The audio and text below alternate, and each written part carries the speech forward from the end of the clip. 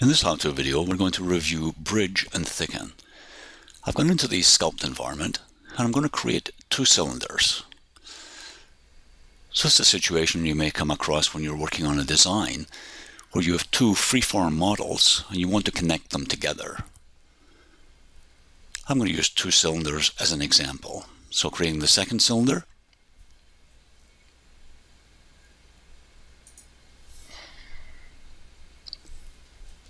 And there we have them. So those are the two cylinders. What I want to do is connect them together. And to do that, I'm going to use Modify Bridge.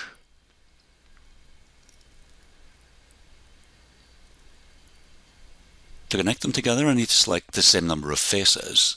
So holding down the Control key, I'm going to select four faces on the first cylinder. And similarly on the second cylinder, select four faces. I'm starting to see that preview and the warning until I get the correct number of faces and then the warning goes away. I can turn the preview on and off. I like to leave it turned on so I see what the end result is going to be. And I have some, some other options. So click on OK. And very quickly we've bridged or connected together those two cylinders. I want to connect the two circles on the top. So again, let's go back to Modify and Bridge double click on the edge. I get a preview and a warning. Let's see what the end result looks like. Well, not very good. We have a solution, but certainly not a solution that we would like.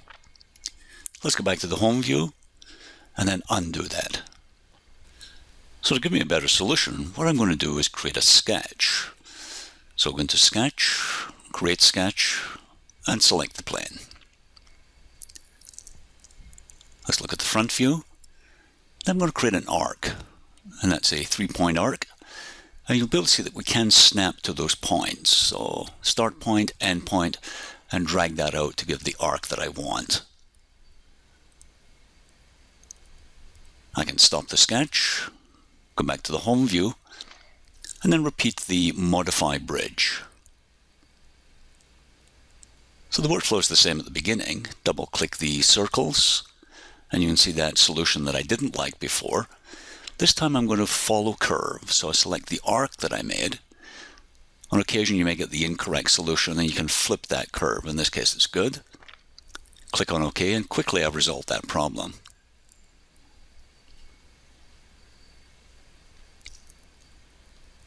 Now I still have the ability to edit the form. Just because I use bridge doesn't take that away. So selecting a couple of faces, I can edit that form and continue refining my design.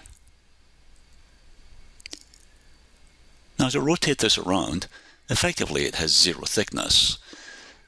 So my design of course needs some thickness to the walls, so I'm going to go down to Thicken, select the freeform object, I've set my thickness to 2 millimeters, and click on OK. And now you can see it has a wall thickness. So to complete that design, let's review that and then turn off the visibility of the sketch in the browser.